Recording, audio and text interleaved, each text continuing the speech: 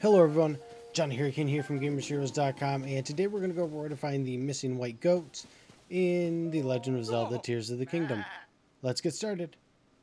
Okay, so this is one of the stable side quests and you are going to want to head here on the map in the Hyrule Ridge. It is slightly east of the stable.